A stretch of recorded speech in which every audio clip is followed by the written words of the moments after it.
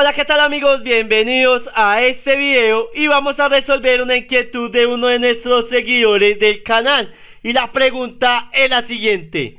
Hola, tengo una pregunta. En caso de que quiera validar una celda para ingresar solo texto o números, pero con un mínimo o máximo de caracteres, por ejemplo, que solo me permite ingresar textos entre 5 y 10 caracteres, ni más ni menos, ¿cómo lo podría hacer?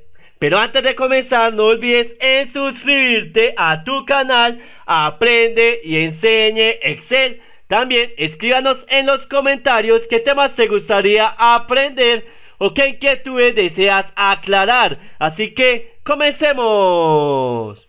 Como ustedes pueden ver, vamos a realizar dos ejercicios. Y el primero consiste en validar la celda que permita textos con 5 y 10 caracteres. Entonces, para eso nos vamos para datos, luego validación de datos, validación de datos, Luego nos vamos para personalizada y aquí vamos a utilizar la siguiente función.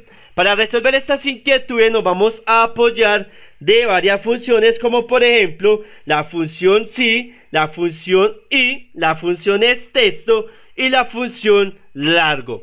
Entonces vamos a hacer igual, luego la función lógica si, abre paréntesis, luego la función lógica y, y aquí vamos a decir que es texto, abre paréntesis y vamos a utilizar aquí, vamos a seleccionar la celda C4, cierra paréntesis, punto y coma, luego vamos a utilizar la función largo que me permite contar los caracteres. Seleccionamos la celda C4, cierra paréntesis, el mayor o igual a 5, luego punto y coma, Vamos a utilizar de nuevo la función largo. Seleccionamos la celda C4, cierra paréntesis, es menor o igual a 10.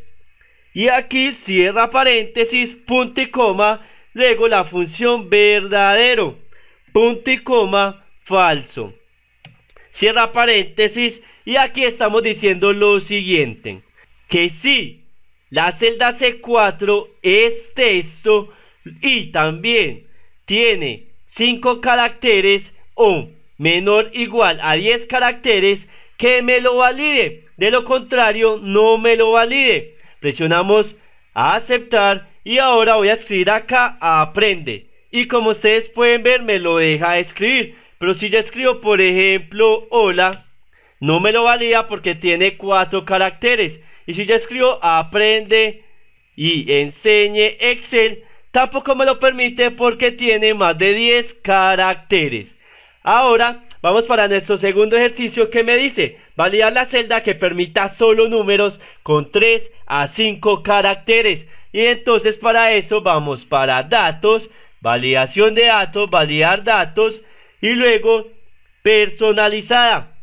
Y aquí vamos a utilizar de neo igual si abre paréntesis la función y abre paréntesis es número, abre paréntesis, aquí vamos a seleccionar la celda C5, cierra paréntesis, punto y coma, la función largo, abre paréntesis, seleccionamos la celda C5, cierra paréntesis, es mayor o igual a 3, punto y coma, de nuevo la función largo, seleccionamos la celda C5, cierra paréntesis, es menor o igual a5, cierra paréntesis, punto y coma. Vamos a utilizar aquí verdadero, punto y coma, falso, cierra paréntesis. Y aquí estamos diciendo lo siguiente, que si la celda C5 es número y adicionalmente es mayor o igual a 3 caracteres y menor o igual a 5 caracteres, entonces que me lo valide. De lo contrario, no me lo valide. Presionamos aceptar y aquí voy a escribir, por ejemplo, 1000 y me lo valida. Pero si yo escribo, por ejemplo, 100, también me lo valida porque son 3 caracteres. Pero si yo escribo 10, no me lo deja. Pero si yo escribo, por ejemplo, 100.000, no me lo deja porque tiene más de 5 caracteres. Bueno, espero que les haya gustado este video, que hayan aprendido una nueva manera de validar, validar celdas No olvides en suscribirte, también darle like al video y recuerden que la mejor manera de aprender es enseñar y hasta una próxima.